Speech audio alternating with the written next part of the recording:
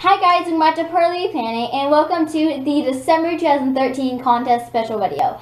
So the winner of the December 2013 contest was Hama Bead Pattern. So me and her contacted and we got this whole video plan for you. So for the tutorial, she picked the uh, train. For the five tips, she picked the five tips for your craft area. And for the fun thing, she let me invite my sister over. So I'm so excited to show you guys this video. Congrats to her. So let's go get started. So for today's activity, I will be showing you guys how to make these really cute trains. And now I already told you I made trains. But anyway, this is just really cute. I love the smoke coming out of the wheels and just it's all colorful. So it's really awesome. I'm so excited to show you guys how to make these. For today's activity, you will be needing six different colors. So for the blue, you can do any colors you want for these. But for the blue, you need 30. For the brown, for the wheels, you can do black. But I didn't, I don't, I'm running out of black. So I'm not going to do black. You will need 10 of those. And for the stopper right here, you're going to need three of those. For the smoke, I recommend gray or black. So you will need four of these. And then for the green, you will need four. And for the windows, you will need four, a lot of fours. So for today's activity, you'll be needing perler beads, a square pegboard, wax paper, and of course an iron. So first we're going to go ahead and get out our window color, which mine is yellow. And you're going to go ahead and make a 2 by 2 square, which is 4. Basic train color, what, what we're going to do now is go ahead and put a square all around it.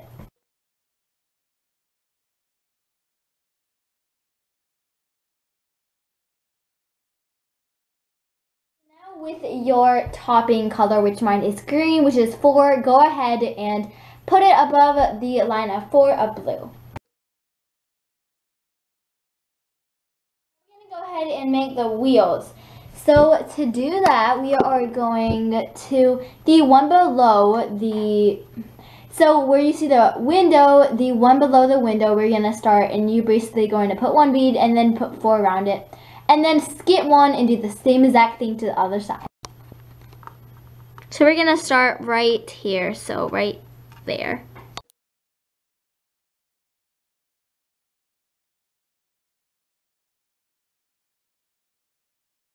I'm gonna go ahead and make the stopper or whatever that's called. I'm not really sure what it's called. So on not this side, but the other side by the wheel, we're just gonna put two and then put another one. And start filling in the train colors. So what we're going to do for the next three lines, what we're going to do, first you're going to put one right here, and then fill up right here, and then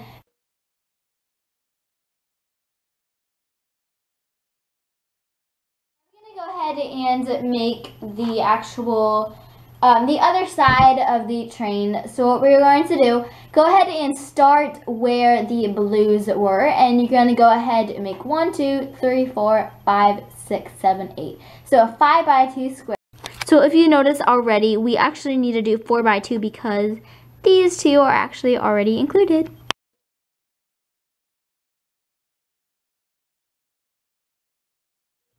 Finish this train up, we're going to go ahead and get out our grays.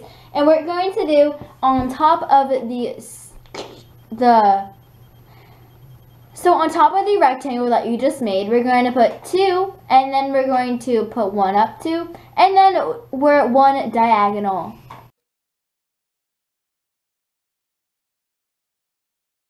Is with our two extra ones what we're going to do go ahead and in the one that only has that has five or four squares, we're going to go ahead and make sure it has three. So fill up the two. And the one last bead goes right here. Once you're done, go ahead and put your wax paper on and iron. And remember to be careful because for this one, it's going to be a bit hard to iron, so you might have to iron it a little bit much. Hope you guys enjoyed this really cute tutorial on this train. So next time I'm going to do my five tips for your craft area. So let's go get started. Right now, I'm just going to say the tip and not do any explanation because I don't want this video to be super long. Tip number one, have a designated spot for your craft area. Tip number two, have a designated spot for everything on your craft area. Tip number three, keep your area clean. Tip number four, notice when supplies are low. Number five, finish the craft that you started in a timely manner. So I hope you guys learned a little bit and if you guys, hope you guys this inspires you to make your craft area into a crafting journey of a lifetime. So here's I am with my sister Haley. So we will always have a theme if um, I invite one of my sister or my friends over because it makes it more fun. And today's theme is Would You Rather. So Haley picked out three Would You Rather questions. Kind of weird. Um, and we're going to answer them so we don't want to take too much time. So no time to waste. Let's go and get started. Okay, so the first would you rather, if you don't know what a would you rather is, just look it up on here.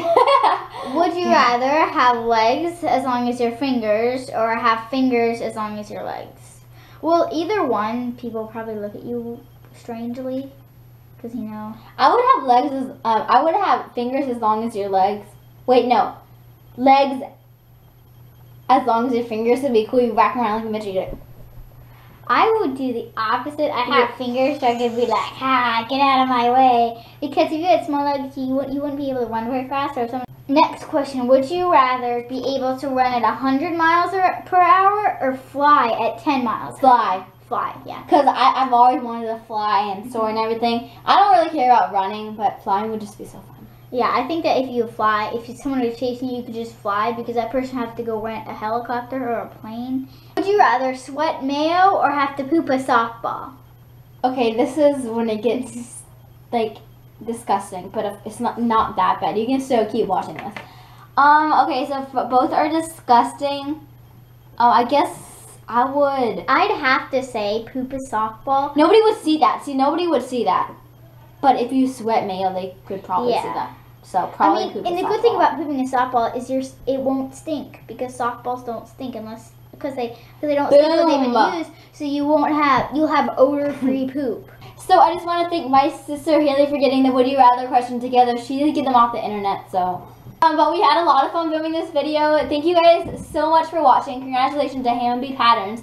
Don't forget to comment down below how you thought, like this video, and of course subscribe to this channel for more awesome videos. And I can't wait for the January 2014 contest. Make sure you guys enter. Congratulations again. I hope you guys enjoy this video. So I will see you all in my next video. Bye everyone.